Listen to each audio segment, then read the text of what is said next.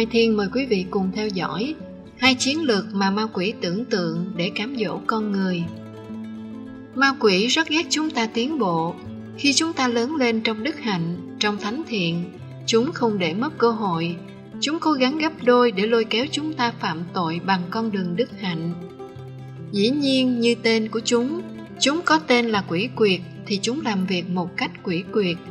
Nhưng chúng ta có thể học cách để trận chiến thuật của chúng trong tác phẩm Cuộc chiến thiên liêng, một tác phẩm có từ thế kỷ 16, tu sĩ người Ý Laurent Scupoli lột trần các mưu trước của quỷ để giúp chúng ta quay về với con đường thánh thiện.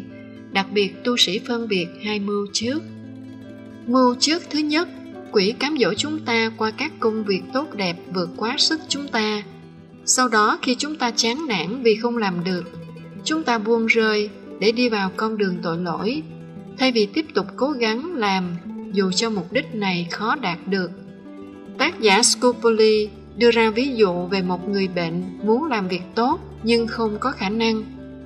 Ví dụ trường hợp của một người bệnh kiên nhẫn chịu đựng cái đau của mình. Ma quỷ sợ người đó có được thói quen kiên nhẫn, nó sẽ cám dỗ người đó làm những điều tốt. Nếu người này ở trong một tình trạng khác, chúng thuyết phục người bệnh nếu họ khỏe họ sẽ kính Chúa hơn, họ sẽ hữu ích cho chính mình và cho người anh em. Khi nó khơi lên ham muốn giả tạo, nếu mình lành bệnh, nó bám rịch đến mức người bệnh đau buồn vì không thể có được những gì mình muốn. Và khi ham muốn càng tốt cháy thì lo lắng càng tăng. Chìa khóa để chống lại mưu trước này là đặt hết lòng tin tưởng vào Chúa, tập trung vào tình trạng hiện tại của chúng ta hài lòng với những gì chúng ta có thể làm trong giây phút hiện tại.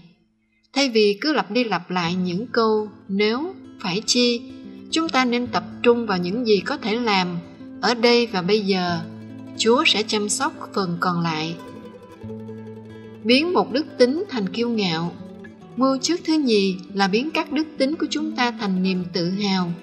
Chúng có thể cám dỗ chúng ta nghĩ rằng chúng ta tốt là nhờ chỉ vào ý chí của mình hoặc chúng ta tốt hơn người khác.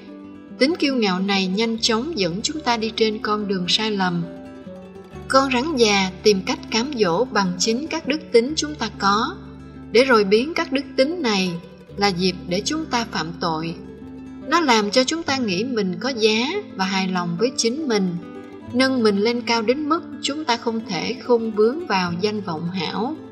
Vì vậy, phải luôn chiến đấu và luôn kiên định ý thức về sự hư vô của mình.